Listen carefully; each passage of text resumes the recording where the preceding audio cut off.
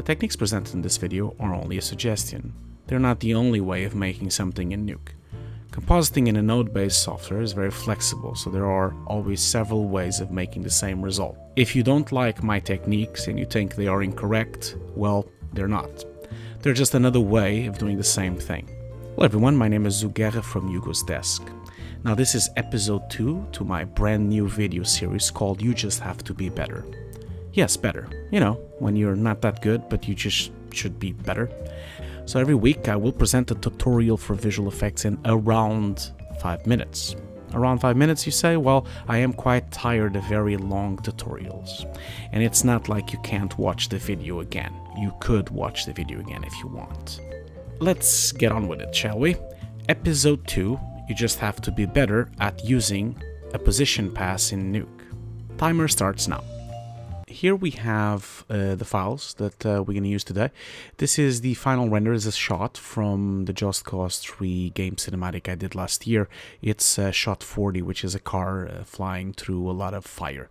Now, uh, fundamentally for this shot, I am going to show you how to use the position pass to basically, you know, layer some fire elements and certain things. Uh, we're not going to put the fire elements in this shot on this tutorial because it's only a 5 minute tutorial but we are going to show you how to set up correctly the position pass. For the position pass, you do not not mandatory, but you should have a normal pass. That should be uh, one of the things you should have. Uh, and you definitely need a position pass. Now, if you don't know what a position pass is, uh, then let me just uh, go ahead and Google that for you. Okay, so now that you know what a position pass is, let's just get on with it again. One thing that is important for you to know is that for this to work, you need a camera, and the camera needs to be a, a correct camera for the shot that you're working on. And also the position pass and the normals pass should be 32-bit float.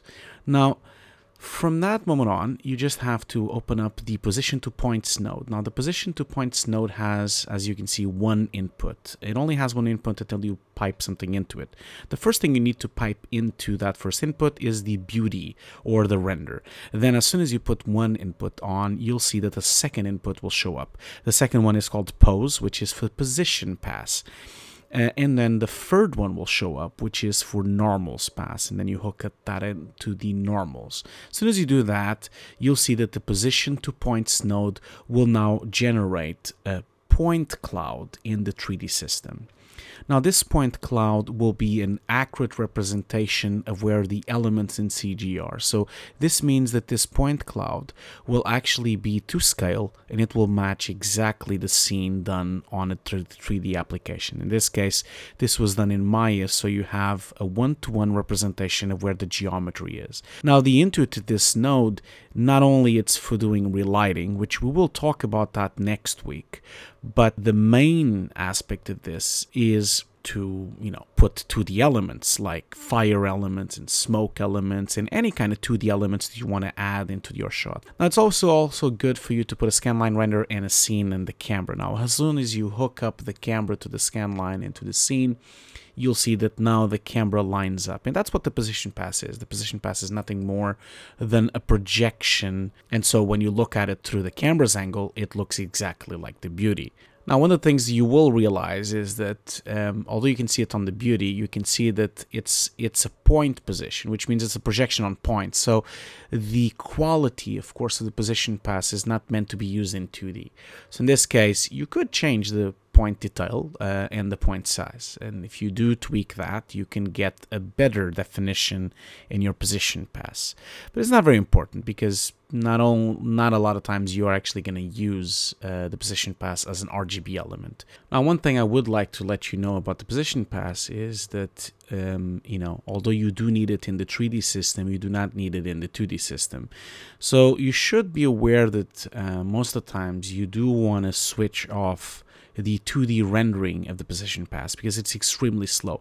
Now, in the position pass, as you can see, you have the display, which is what you can see in the 3D system, and that you should leave on so that you see it.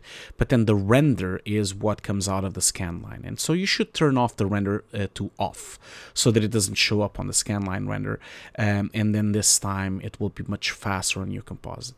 So one of the most common applications of this technique using the position pass is to, for example, on this shot, which was a project I did last year for Rival Kingdoms, uh, I used this position pass uh, technique to actually put the fires uh, into the scene. If you want to see a bit more about this, you can always go and watch the video for Disconstructing the Rival Kingdoms project on my YouTube channel. Uh, the link is just on the screen right now. And so as you can see here, I do exactly the same technique using the normals and the position pass and using the points to, point, to position um, and then using 2D elements of smoke elements, you know, particle elements and dust elements as uh, 3D cards uh, and then using the position pass to know where to layer them and to have them in the correct parallax. So as you can see here, when you look at the representation of the scene, then by knowing where the columns are, you can now easily put the fires on the correct places. Of course, in the next tutorials, I'm actually going to show you how to use exactly the same node to do some relighting so that you can actually effectively affect the CG with the elements that you're placing into the scene. And time is up. So next week, yet another You Just Have to Be Better at Something. Please subscribe, like, share, and leave me a comment. If you did not like this video, well, you can just leave. You know, there's just, just leave. Thank you so much for watching.